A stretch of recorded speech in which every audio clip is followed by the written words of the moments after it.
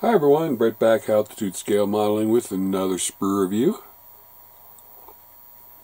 This time we are going to look at Great Wall Hobbies limited edition 148 scale F14D from VF31 Squadron. Beautiful box art. All around. Doesn't really show you much. Except you get this beautiful design. Felix the cat. That's what it looks like under there, but I could be wrong. Kit number S7203, 172nd scale. If I said 140 scale before, I apologize. Look at all the plastic in this kit. I'm not even going to count all these screws. We just keep going. It's clear. Going. So we'll start with some wings here. And we've got instructions, decals, and color callouts. So, let us begin with more light. And they are doing the and staple thing. Arg. So two screws in this bag. Zoom in. We've got the top of the fuselage, top of the wings. Really nice tiny pitot tubes, I'm assuming. Launch rails. Looking really sharp. Crisp detail, rivet detail, panel line detail. All looking really good on there. This one is the elevators, back of the canopy section, landing gear doors. There's the um, gun area. I don't see a date on any of this, but there is no flash. There's nice detail inside the landing gear doors. No ejector pin marks on these. These you're not going to see. One piece elevators. So we'll start with the looking at the inside of the landing gear doors. You can see really nice detail for 72nd inside of there. Flip it over again. Really nice crisp detail. And I've been waiting for these this kit to come out for a while because I've got the other 72nd Tomcat that Great Wall did and the 72nd Eagle they did. I believe these parts here and here are for the wing folds. See, really nice detail. Get a little light there and there. Alright. So this is just going to keep going. So let's go with, looks like fuselage has where the cockpits are. The cockpit tub. Uh, one of the gear bays or the, yep, that's one of the gear bays. Tail hooks on here. Again, damn staples. And the nose cone which is bent over, should be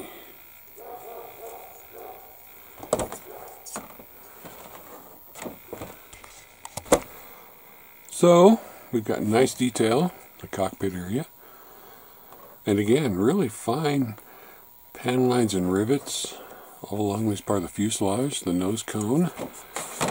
I just took off, but there you go.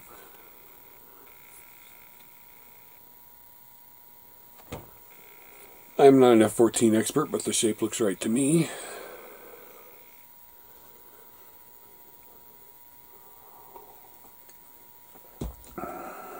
Aside so I don't lose it.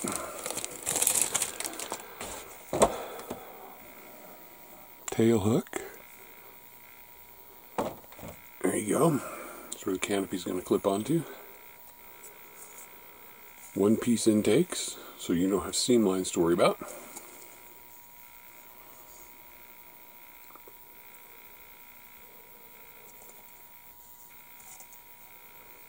Good detail all the way around.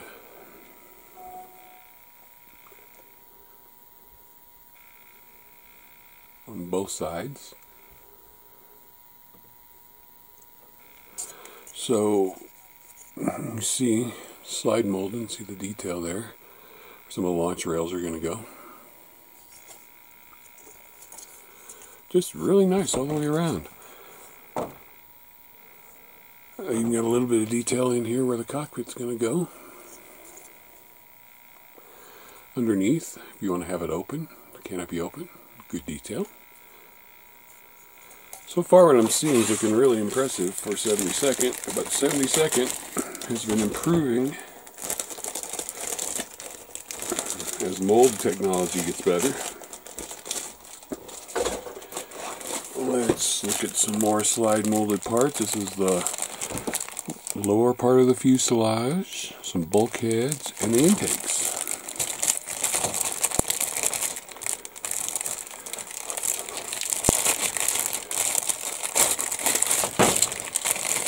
So bag's got a bunch of little sprues, the intakes. Let's start here.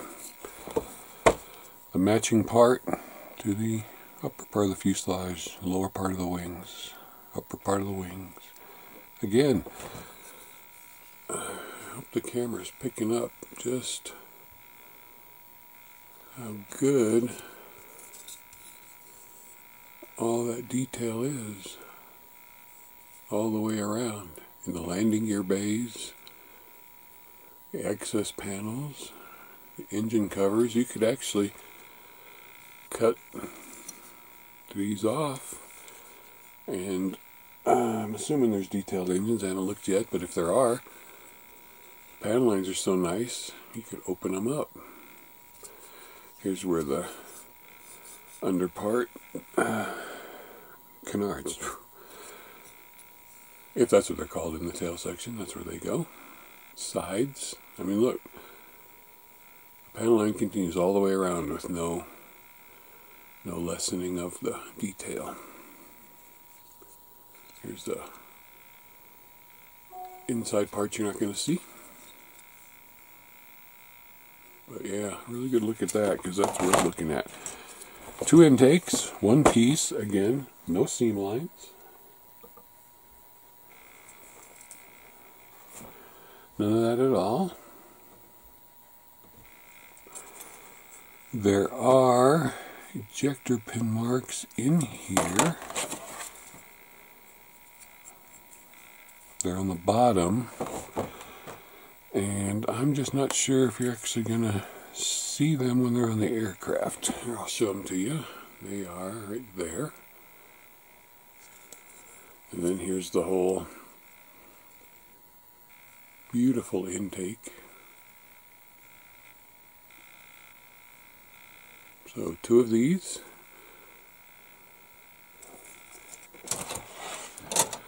And then these are matching, and these are some doors and some bulkheads. But again, just the detail right there. And yeah, there's an ejector pin mark in both of them, but I don't think you'll see them. But that detail there. Then on this side, again, all the way around. Bulkhead detail. Really nice. This I'm not sure. Maybe the heads-up display now, or maybe it's part of the radar. Because this has got to be the part of the radar. this is the part that attaches. Now I'm guessing here, but it looks like from building other F-14s, this is the part that attaches the fuselage. And this is the actual radar part. Very nice with those.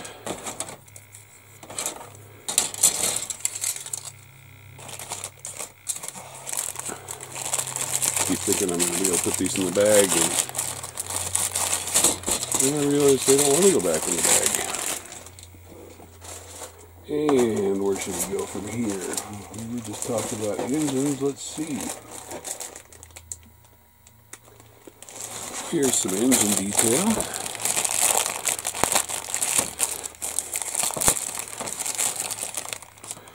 These are matching screws because obviously there's two engines. These are just the the um, cones, first stage compressor, the afterburner ring. So you've got open and closed, and then the tube for the engine itself, which does have some detail inside of it. So you've got two engine nozzles, one open, one closed. And then the beautiful first stage compressor and afterburner ring. Two of those. and do some big ones. These are actually wing parts. Let's check out some wings. Now you know both Tamiya and AMK released 48 scale F-14s, so compare cost of this one. Let me look it up real quick while you're admiring this gorgeous wing detail. The computer wants to wake up. There we go. Ignore the because probably there's another dog walking by. Uh, hold on. Let me find this real quick.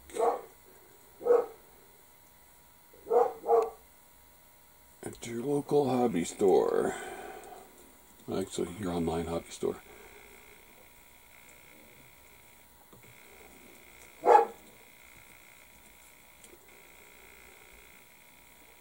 Alright, Great Wall Hobby. This one is going for around $66. So it is more than Okay, listed. Yeah, there it is. EMK $73. So it's not quite as much as EMK.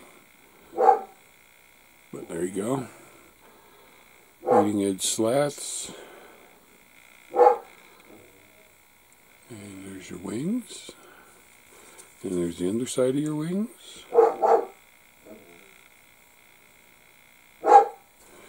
So quiet down as soon as that dog that's walking by gets goes away. And then it looks like flaps. So you can have your flaps down, really detailed flaps too. And your nose gear. And looks like a ladder. And these are parts for your wing fold areas. Opened or closed. Again, wonderful detail. Mm-hmm. Then see how the flaps look if you want to have the wings extended open all the way. Really nice detail on those and you see right through there. And then okay, from landing gear extended or collapsed. So if it's being pulled down by the cat or normal sitting position unweighted down.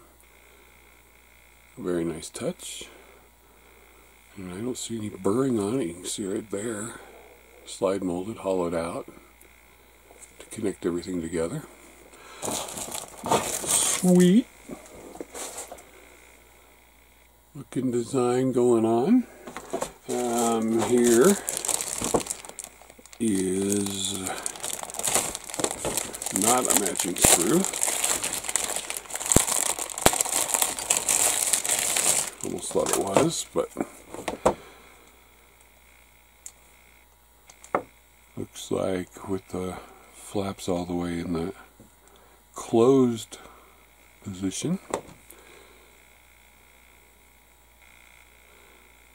And when we look at the instructions, we'll get more detail. Almost looks like these could be FOD covers. So, the other side, there are ejector pin marks in here. It'll need just, you know, just to be safe, do some test fitting, touch them up. Same with these here. But again, you've got really good detail on all of these parts. Well, you all know I do pretty much 48 scale, but they keep doing this because I will be building one of these. Speed brakes, tails, that's where the speed brake goes, and the detail there, and then the doors. Tails are one piece, very nice. Detail inside the speed brake. No ejector pins inside these doors. Well, maybe. Maybe that detail's supposed to be there. These doors, but that could be detailed. It's supposed to be there because it doesn't look like a ejector pin. The tails, looking good. The back of the speed brake, these tiny little parts here. Flip it over, again, more of the same outstanding detail there. On the tails, the rings for the nozzles, the detail there, just so crisp. Exquisite, if I'm allowed to use that word.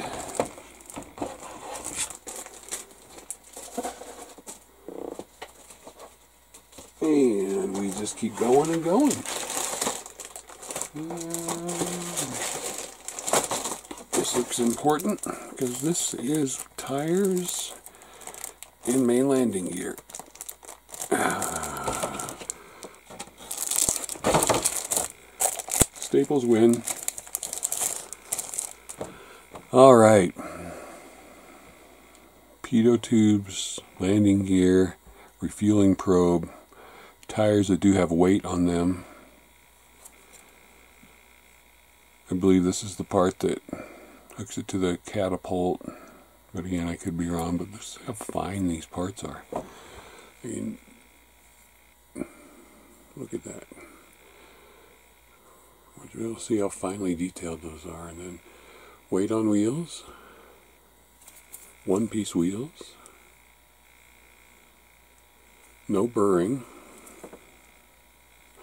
I cannot see a burr line on either side of those. The molding detail is just outstanding. And to make the molds for this, impressive. Okay, then we've got weapons.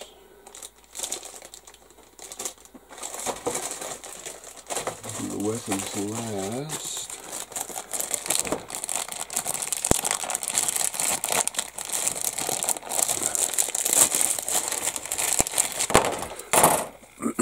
Four sprues in this bag which includes control stick, side panels,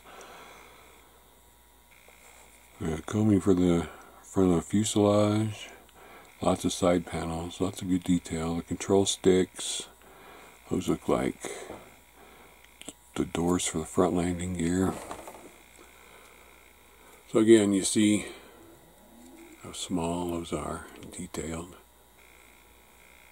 Detail on the doors and on the inside of the doors. Okay. Over here you see your instrument panel detail. I'm sure there's decals and there'll definitely be some photo etch coming out. But the texture here and the texture here. Very, very well done. Now none of this have I seen flashing. I'm assuming is one of the launch rails for the Phoenix. I'm assuming. I could be wrong. Could be a launch rail for Sparrow or something. These ejector seats, two of them, of course. Again, very nice detail. The cushions, the rails, the sides.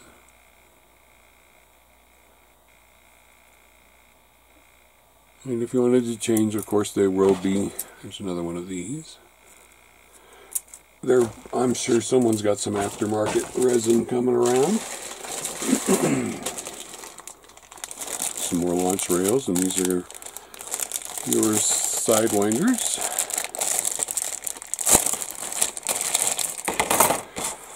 And we all know Great Wall does great weapons. Slide molded, one piece except for the fins. Everything's straight. So there's two of these in this bag. And there's two of these launch rails. Again, great detail throughout. So, in here, some more weapons. These look like laser guided bombs, and I'm not sure this almost looks like a pod, a sniper pod of some kind. But there's your laser guided bombs. As you can see again, one piece those parts, glue those halves together, no flash. You have a seam line, but no problem. I bet they fit together really well. They say F15 on there. So I'm assuming, same with these, they're using them for both the F-15 and the F-14. Nothing wrong with that. Here, we have a couple of sparrows, it looks like. Again, these may say F-15 on them as well. So there's the fins for the AIM-7. Launch rails. with really good tiny detail. and then the AIM-7 themselves. Slide molded, of course. One piece except for the back fins. And here are your main wheels. come in halves.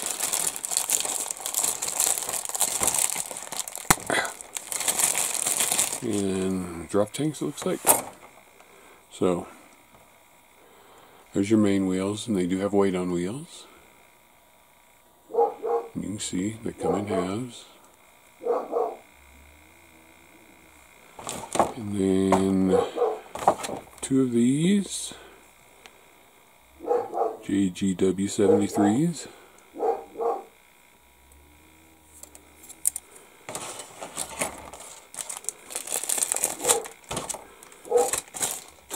And some more pylons.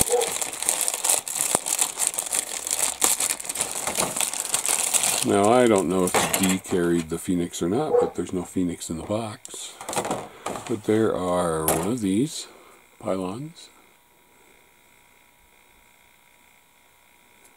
Very nicely detailed. One piece, looking good.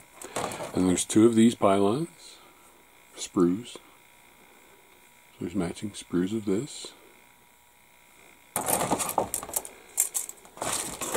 And this one has three sprues of these pylons. Okay, now we're to the clear parts, which I am going to completely remove this staple because I don't want to scratch the clear parts.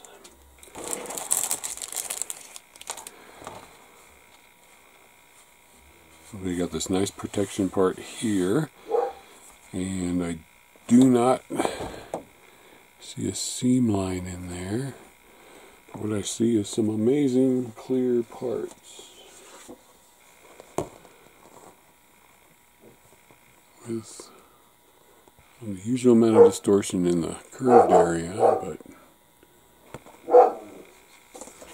other than that, great rivet detail all around. There's your lights.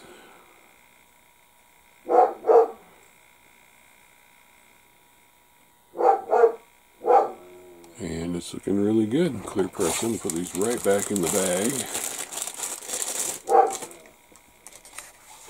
All right, we're on to the instructions, the decals, whatever else we got. Color call out. There's Felix, looking good. I do love the look of this one. This is one I wouldn't want to get different decals for. I just like it. It's your stencil layout, your color call outs. Other side.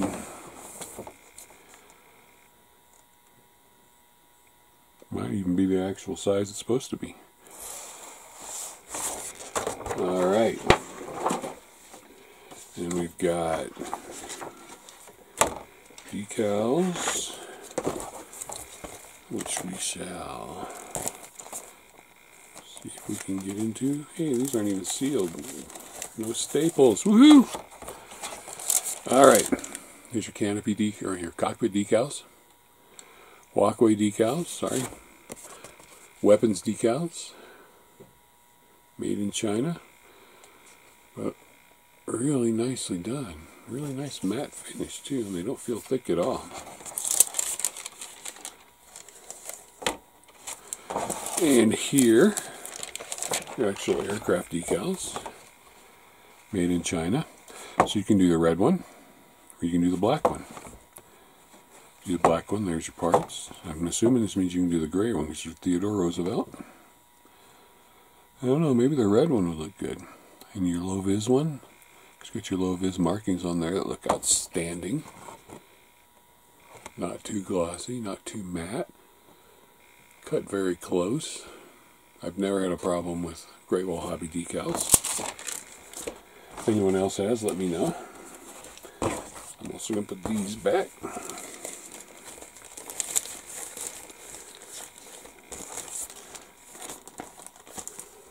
And last but not least, instruction book. So, it comes apart like this. Your sprue map. There's your sprue map and your decal. Do not use shadow parts, so you're not using those, that.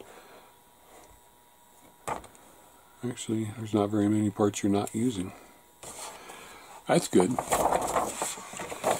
There your color callouts in Mr. Hobby, Vallejo, and your FS numbers, and your warnings about being safe, how to use tools.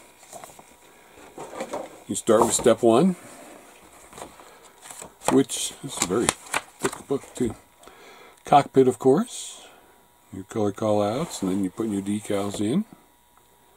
Like I said, I'm sure there is or will be photo etch for this.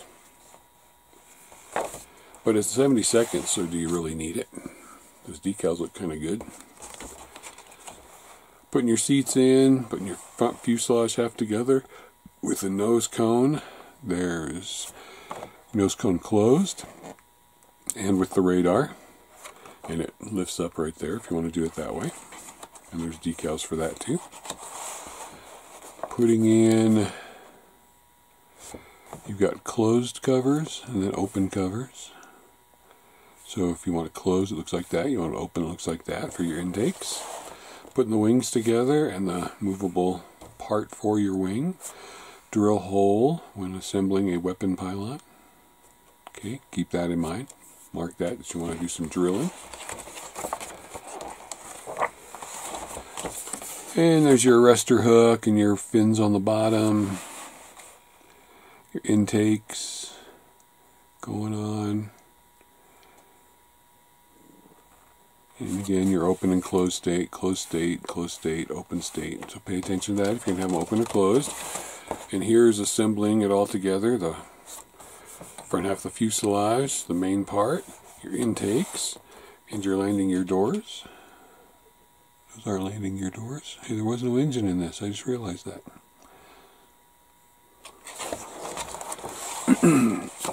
Putting your tails on and your elevators on. Now there goes your landing gear going together. Now, it's good that you don't have to put your landing gear on before painting because that would be, you know, a pain. Only apply on the B version. On marking for B. And some more bits and bobs if you want to have the landing gear closed and in flight. I have a marking for that. There's your wings, closed state, open state. So, speed brakes, flaps down, flaps up, speed brake closed, wings swept back, and the parts you'll need for that. Wings fully opened, and the parts you'll need for that. Your nozzles, your open state, your closed state. They give you lots of options with this. There you go. Afterburner rings and engines. Speed brake again, open, closed. Same thing on the bottom, open, closed. Canopy, closed, open, and your ladder. And then your weapons, LANTIRN, your GBUs, your drop tanks, pylons, Sparrow and Sidewinder on there, drop tanks where I thought the Phoenixes would go, LANTIRN, pylons, full weapon load, what it looks like. And there's decal markings for your weapons. Here is the one in the red, which is also sharp looking. Sunset Flight NAS Oceana 2006. There's your low vis marking here. Sunset Flight, again, same one, just different aircraft with a low vis if you wanted to go that route. And stencil data for that one. You've already seen the one with the blacktails. So there you have it. Pretty long sprue review, but pretty detailed kit. So, thanks for watching. If you're a 72nd or Tomcat aficionado, this is one that you definitely want to add to your collection because it looks really good. I'd be interested to see how some of you get it built. Send me links if you got some pictures of a built one or if you plan on building it. Take care, sit your ass at the bench and do some modeling, especially during these times. Nothing takes your mind off it better. Bye for now.